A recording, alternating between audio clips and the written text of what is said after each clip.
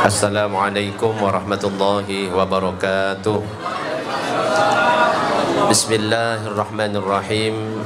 Alhamdulillahi rabbil alamin Wabihi nasta'inu ala umuri dunya wa din. Allahumma salli wa sallim wa barik ala sayyidina Muhammad Wa ala alihi wa sahbihi ajma'in. Amma ba'du. Para jamaah Bapak Ibu yang dirahmati Allah Singkat saja. Karena sudah banyak bicara dari setengah sembilan tadi Alhamdulillah malam ini kita memasuki malam tahun baru Islam yaitu malam satu Muharram. Dan yang perlu kita ketahui bulan Muharram ini termasuk di antara empat bulan haram. Empat bulan haram itu di antaranya bersama-sama silakan Zul Qa'dah Zul Hijjah Muharram Rajab. Empat ini adalah empat bulan haram, bulan yang disucikan, bulan yang diistimewakan oleh Allah. Orang yang melakukan kebaikan, pahalanya katanya Imam Ibnu Katsir, pahalanya lebih banyak daripada melakukan kebaikan di bulan-bulan yang lain. Sebaliknya melakukan maksiat di bulan-bulan haram yang empat ini termasuk yang al-muharram ini dosanya juga lebih besar daripada bulan-bulan yang lain khusus bulan Ramadan tidak termasuk dari empat.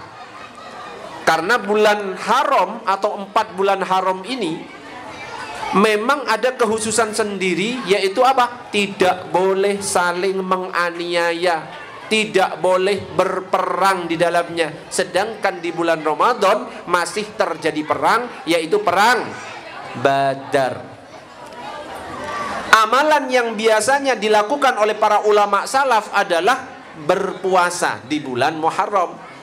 Afdalus siyami ba'da Ramadan paling afdolnya puasa setelah bulan Ramadan Syahrullahil Muharram yaitu bulannya Allah yaitu berpuasa di bulan Muharram. Kalau bisa berpuasa full satu bulan bagus.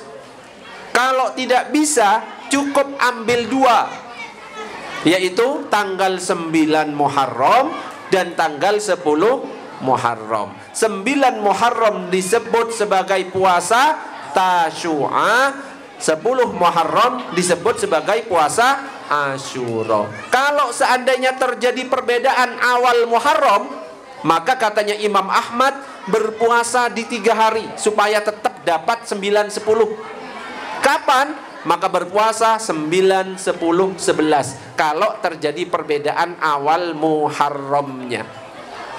Dan awal kisahnya ada puasa Muharram ini Nabi itu pergi ke Madinah. Melihat orang-orang Yahudi kok pada puasa semuanya. Ditanya loh kamu ini ngapain kok puasa? Saya ini berpuasa mengenang sejarahnya Nabi Musa yang selamat.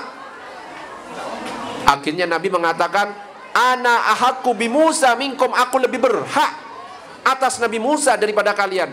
Maka Nabi Muhammad mengatakan, ayo semua umatku berpuasa. Ada yang nanya, nyeletuk. Lah, kalau kita puasa, berarti kita niru orang Yahudi. Supaya berbeda, kalau saya masih hidup, saya akan berpuasa tanggal sembilannya. Tapi Nabi belum sempat sampai tahun depan, jadi belum sempat berpuasa di tanggal sembilan. Tapi kita tetap dianjurkan berpuasa tanggal sembilan Muharram dan sepuluh Muharram. Sampai di sini faham? Coba niat puasa 9 Muharram. Diikuti bersama-sama. Nawaitu. Sauma ghadin. Min yaumi tasyu'a. Sunnatan. Lillahi ta'ala. Sepuluh Muharram. Nawaitu. Sauma ghadin min yaumi asyura sunnatan. Lillahi ta'ala. Ustadz saya nggak hafal bahasa Arabnya. Cukup bahasa Indonesia. Malam-malam saya besok puasa 9 Muharram. Selesai. Saya besok puasa Tasyua selesai. Saya besok puasa 10 Muharram. Saya besok puasa Asyura sudah selesai. Nggak usah bahasa Arab bahasa Araban bahasa Indonesia bahasa Jawa tetap sah Mudah-mudahan semuanya bisa melakukan. Amin ya rabbal alamin. Dan salah satu amalan lagi sebagaimana disebutkan dalam kitab Tanbihul Ghafilin adalah menyantuni anak yatim dipegang kepalanya anak yatim itu. Orang yang memegang ngasih sedekah kepada anak yatim maka rambut-rambut itu yang dipegang itu akan mengangkat derajat kita derajat kita akan diangkat oleh Allah sebanyak rambutnya anak yatim yang kita santuni. Ya jadi pas 10 Muharram nyantuni anak yatim. Anak yatim itu yang belum balik ya. Kalau sudah kayak Pak Freddy oh tutup ya. Wis umur sudah mau 60 ya. Saya yatim ya enggak enggak masuk. Jadi anak yatim belum balik tidak punya bapak. Itu salah satu amalan. Sampai di sini paham ya? Gak usah lama-lama karena sudah